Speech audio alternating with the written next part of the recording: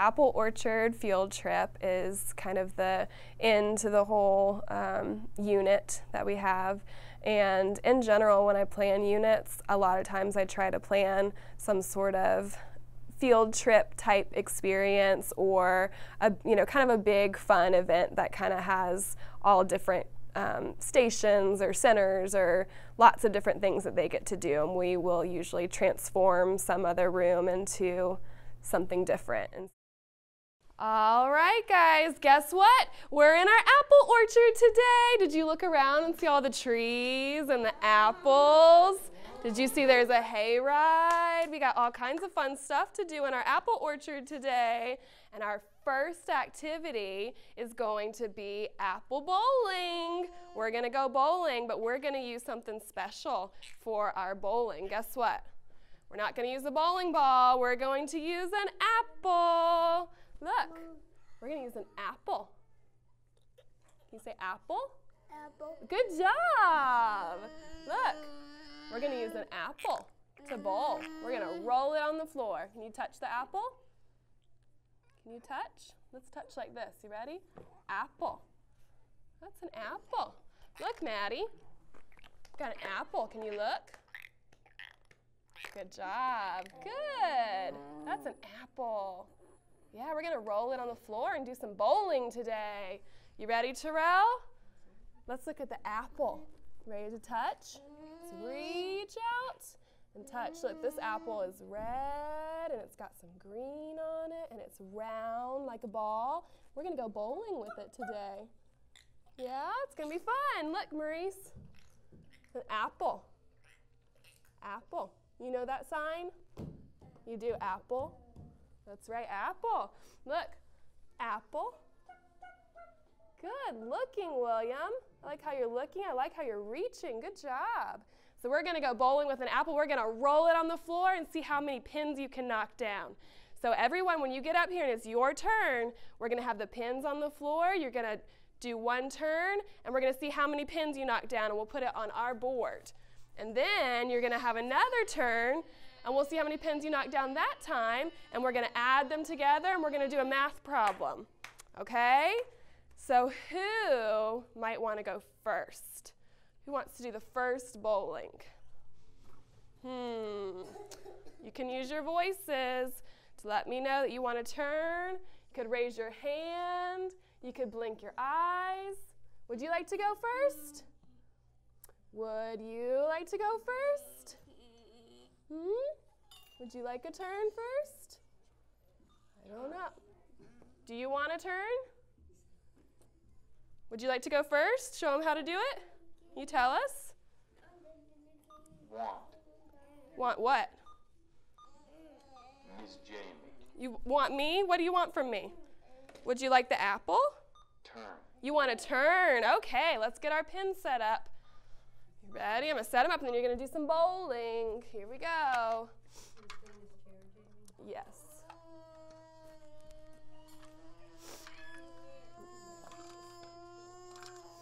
All right, Maurice. Come on down. See how many you can bowl down. All right, you're going to try to hit those pins right there. You're going to roll it on the floor. Ready? Oh, man, you didn't get any the first time. Let's try again. Try and get them right here, okay? Let's try again. See, I'm to help you aim some, okay? Let's try and get it right there at those pins. Say one, two, three. Throw it. Oh, so close. Let's get a little closer and try again. Is that funny? All right. Let's try again. Roll right there. Say one, two, three. Throw it. Oh, look at that. You got some down. Let's put some pins up there and see how many, okay? We'll let that be your first roll and we'll roll again, okay? So let's see. Can you put the pins up for how many? Knock down. One.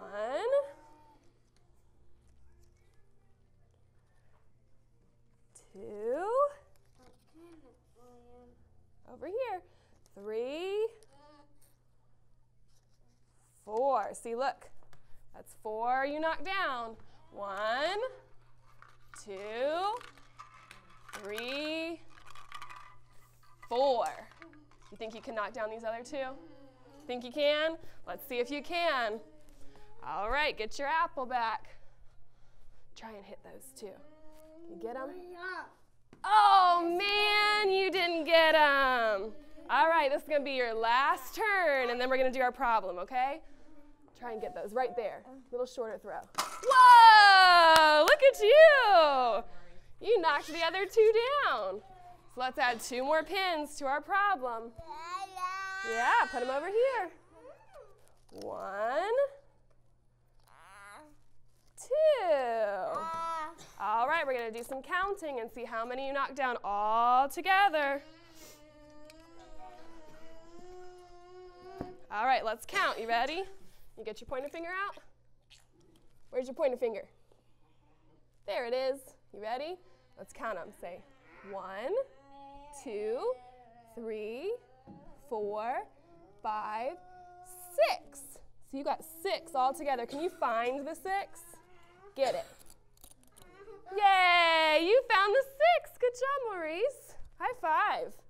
Way to go. You did awesome. All right, Maurice did his apple bowling. Let's see who else could have a turn.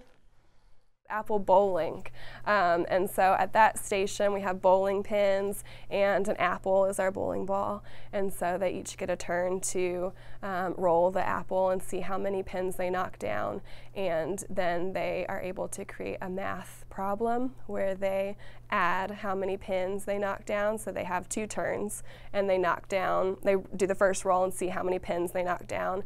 And we move some um, visuals down of however many they knock down first, and then they go again, and we see how many they knock down, and we move those visuals, and we count them all up and do, you know, say I knock down five altogether, then I try to identify a five out of probably two choices. Um, so that's working on counting and it's working on um, number identification and adding and um, it's also again some of those gross and fine motor skills of um, you know, being able to stand there. A lot of the kids will be um, in walkers or standers or those kinds of things during this time too. And so they're working on um, being able to stand nice and tall and you know roll the apple and all those kinds of things too. Caleb, a little more. You did it. Good job. All right. Okay. Ready? You turn it up here, come on up this way. Gonna have to hop your walker this way. Come on over here, Caleb. Right over here. Come on down. Good job, Caleb. That was really awesome listening. We're gonna get you about right here, Caleb. So you ready? Let's come this way a little bit.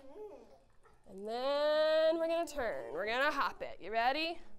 Say hop, hop, hop. All right. You're gonna try and knock down those pins right there, okay? So get, that's right, we did hop. You throw it, not eat it, let's throw it. Let's throw it. You ready? Say one, two. Oh, that was a good throw, but look, we gotta try and hit the pins, okay? Let's try again. Here we go. Good job. Your friend William says, good job. Ready? Here we go. Say one, two, three. Whoa! Oh my goodness, you knocked them all down. Look at that, Caleb. Three. Three. That's right. And you touch. Look up here. This is four. Touch like this. Four. And can you get it? Look. Let's look. Five. Look. You touch and say five. Five. Good. And six. Five. This is six. Six. Six. That's right. Good counting, Caleb. We got six. Because guess what? You knocked down all six pins, Caleb. Way to go! I get a high five for that? Good job. All right, you did it. Then we have the bobbing for apples, and um, in that station there are apples in a big tub of water, and each apple has a different letter written on it in big black Sharpie markers so they can see it. And um, we have, first to start that, that activity off, we have some tactile letters with each of the letters of their first name. Um, and so we start off with um, each student feeling that letter and really knowing what letter they're looking for. They're working on, again, that fine motor skill of holding the net and reaching in and trying to get apples. And they're also working on some vision skills of looking a lot of my kids just looking is a big a big deal. I'm sure you probably heard in a lot of the activities of i'm so you did a great job looking. Good job. I love how you're looking at that because that's a big deal for a lot of our kids. Um, so we're look, we're working on looking and finding that apple. Um, and then we're also working on the skill of matching letter to letter and just knowing what the letter of your first name is um, to eventually be able to hopefully spell your name, know what your name looks like. All right, guys, guess what? You did your apple bowling, and now it's time for bobbing for apples.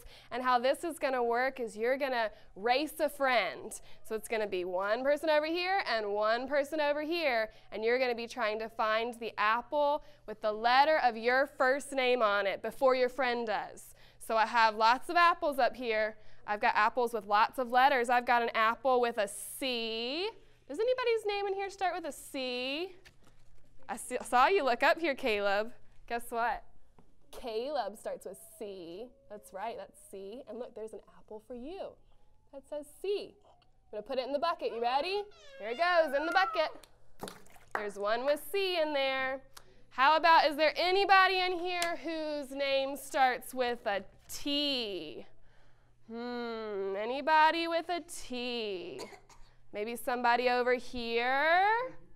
Maybe a boy that's sitting right here? Guess what? What Guess what? His name starts with a T. T, that's right. You see in the T? We have a T for Terrell. Let's feel it, Terrell. See, we've got T for Terrell. And this apple has a T too. You ready? It says T for Terrell. We're going to put a T in the bucket for you. You'll have one to find. Put it in. All right. Is there anybody in here whose name starts with a B? Hmm, any B's in here? I see you looking. Who? Whose name starts with a B? Do you know? Not my name. Whose name? Can you find it?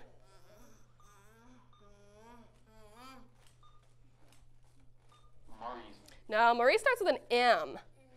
Guess whose name starts with a B? Who is that?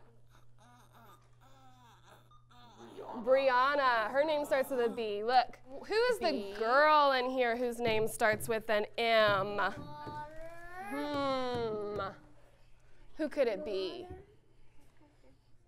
Is it you? It is you. That's right. You see, the apple has M for Maddie. Yeah. I like how you're getting it. Can you look? Let's look at this M. Look. It's got M for Maddie. Let's trace it. You ready? Let's say. You're to hold it with that hand? All right. We've got M for Maddie. That's you. Yeah, M. That's right. Good job. Let's see. Maurice, can you put this in the bucket? Can you drive your wheelchair up the front and put it in the bucket, please? Go put it in. Drive yourself up there. Put it in your lap and drive yourself up there. It's okay. You can leave it right there. Good. You have to turn yourself a little bit. Use this bar and turn. There you go. Now you can go straight. Good. Put it in. Yay! Good job. Yeah, Maddie, there's an M in there for you and Maurice. Way to go. Good job. All right, and then just to be tricky, there's some other letters in our bucket. There's a letter A, I don't think we have anybody whose name starts with an A, but you might find an A and you'll say, that's not the letter that my name starts with. And you'll have to throw it back and find a different one. All right, all of our letters are in our bucket. So now what we're going to do is we're going to get two people, and you're going to come up. You're going to get a net. You can pick what color if you want blue or if you want pink. And then you're going to dig them out just like this. And you're going to look and see if it's your letter. All right, Maddie, did you remind yourself the letter that you're looking for? You're looking for the M. Remember? You're looking for M. And guess what? Maurice is looking for the letter M too. You're both looking for the same letter, M. I wonder who's going to find it first. Find it. Oh, William's like ready for us to go. Here we go. Get ready. Okay. Ooh, there's cup. There you go. Go. Reach in there and get something. Maddie, let's choose one. There you go. Oh, Reach. Pull it out. Pull. What you got, Maddie? What did you get? Can you reach in there and get it? Let me hold this for a second. Not sure if this is the, the M or the W. Oh my goodness. Yeah, I think it is. Look at that. What'd you get? Look, Maddie. What did you get? She's got the M. Oh my goodness, look. She found the M. She's got a T. Can you believe it? Then we have a hayride relay race because when you go to the apple orchard, you always, you know, go on a hayride. And so that gives them the experience of getting to ride a hayride, which otherwise they probably wouldn't have had that experience. And so with that activity, we do a race and we have two different wagons and we have apples set up um, on um, some trees on the other side of the room and they get in the wagons and race to see who can get the most apples back the fastest. Um, and so they're using a lot of fine motor skills, being able to reach and put the take the apples off the tree and put them in their bin. Um, they're working on colors, the, the different color apples. There's red and green and ye- uh, yeah, and yellow. And so they're working on you know identifying those colors. We're gonna do some hay rides this time. How this is gonna work is we've got our uh, wagons right here. This is gonna be our hay ride. And guess what? You're to get a chance to get in and you're to race down to the apple trees and get as many apple apples off the tree as you can. You're going to be racing another friend. You're to see who can get the most in two minutes. You don't have long. You're to have to be fast. So you're to get to get in here and look, there's hay in your hay ride. And you're to use your hands and reach and get the apples, okay? So we're to need two people each turn. And I'm to need two people that can help me. One, tell us when we need to go. And two, someone that can keep up with our time. So we've got our talker that you can tell us when we need to go. Someone will do that. And we've got our timer on here, and you'll press start. And then when you hear the music, we'll know it's time to see who won. You think you could do that part? When it's not your turn, I'm sure you could. And then when you get done, when you come back here and bring your apples back, you're going to put them in the basket and go back and get more, okay? Until you hear the music. And when it's all done, we're going to count and see who got the most apples, okay? So, who thinks they should go first for our hayride? All right, there are two boys that still need a turn. I think it's William's turn and Terrell's turn. You ready? All right, Terrell, me get your seat ready for your wagon ride. Here's some hay for you for your hay ride. Is that funny that he's got some hay? There you go.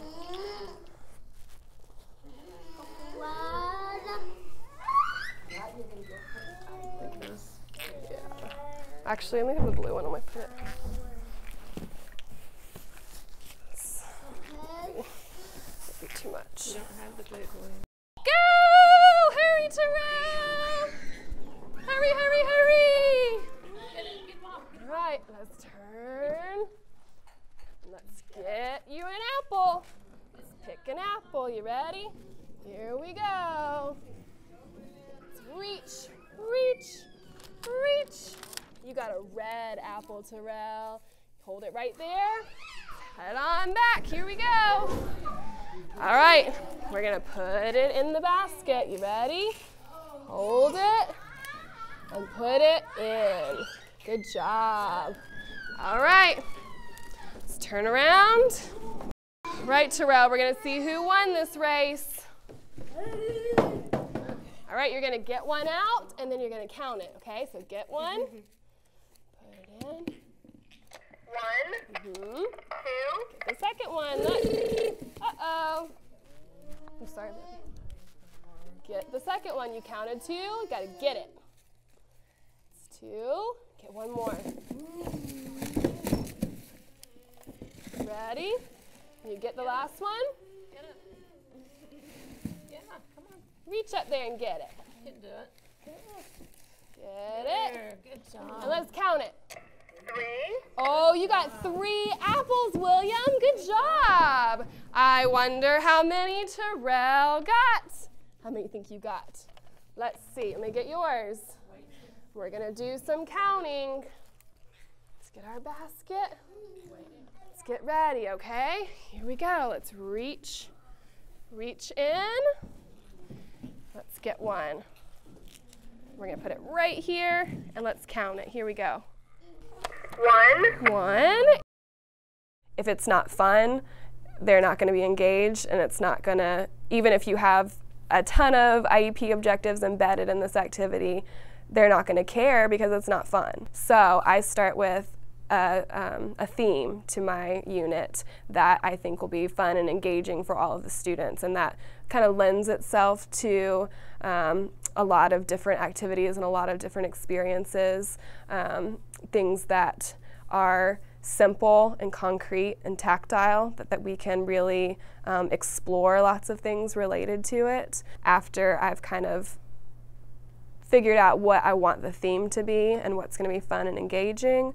Then from there, I start looking at like specific activities that will touch on all of the different um, domains, like all the different, you know, the math, science, social studies, and the gross motor, fine motor, vision, um, all of those things that we're working on. So the more that you plan these things, the activities, and the more that you embed all of the different goals and the more that you differentiate instruction, the better that you become at just being able to do it without really having it every little thing written down. You just kind of you have to know you have to really know what all of their goals are and you have to really know what the kids need to be working on. And so a lot of times if I have that knowledge in the back of my head, okay, you know, this child needs to be working on this, this kid needs to work on this, and know what all of them are working on. We'll be in the middle of activity, and just because I didn't plan it this way, I'll say, oh my gosh, this is a really good time for so and so to work on reaching and grasping, or this is a really great time for so and so to work on this communication skill, or um, you know, all of those things. You can embed them so quickly and easily when you have that really strong foundation of what do they really need. Guess what, guys? We've done apple bowling, we've done bobbing for apples, and we've done hay rides where we're picking our apples. And guess what? We have one more thing to do at our apple orchard today. We're gonna pick apples because that's what you do when you go to an apple orchard, right? Has any of you ever been to an apple orchard? Have you gone? You been to an apple orchard before? Have you picked apples? Have you done that? I don't know. I don't think maybe you have. But you're going to get a chance to go. Yeah, I have done it before, but you're going to get to go this time. Okay? So we're going to come up and I'm going to hand out your bags. You have a bag up here that has your name on it. You're going to get your bag and you're going to get a turn to come up here and you're going to pick a few apples and then you're going to take them back to your seat and after everybody's had a turn, we're going to give some prizes away. Oh, yes, there's prizes at this apple orchard. All right, we've got your bag. Let's come see if we can pick some apples. Can you go get an apple? Look, look, look right here. Can you get one? Get an apple. That's right. Get it. Get it. You almost had it. Pull it off. Almost. Let's try again. Get it. Let's look. Get it. Almost get it. Hurry. And pull it off. You got it. Look, let's see what number you got. You got a two. All right, let's put it in your bag. Let's see if you can get two more. There's one apple. Let's come around this side. Where else do you want to get an apple? Which one do you want to get? That one? Are you going to get that one? Can you get it? Good job. You did it. Good job, Maddie. All right, so pull your apples out and look at what numbers you have. Find out what numbers are in your bag. Let's see, Terrell. You've got you've got a one. You've got a five. And you've got a three. All right. Keep those numbers in your head. All right, I think everybody's seen their numbers. So this is how it's gonna work. I've got some special prizes, and we're gonna spin our spinner. And if you hear your number, then you get to pick a special prize, okay? So who can spin our first number? Hmm, who wants to spin? Would you like to do it? You push the purple button? Let's see what number we get. Oh, it's pointing to that one. Pull it. Tell everybody said we've got a four. Does anybody have a four? Oh, Caleb and Brianna, you guys have a four. Guess what your special prize is? You get to pick apple juice or applesauce to have with your lunch, a special apple prize. Would you like apple juice? Or would you like applesauce with your lunch? You want applesauce? All right, well, remember that. You get to have some applesauce at lunch. All right, who else had four? Four? Was it Caleb? Caleb, you had a four?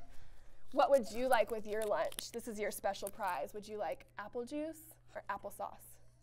Apple juice. You want apple juice? Good talking. You can have apple juice with your lunch, okay?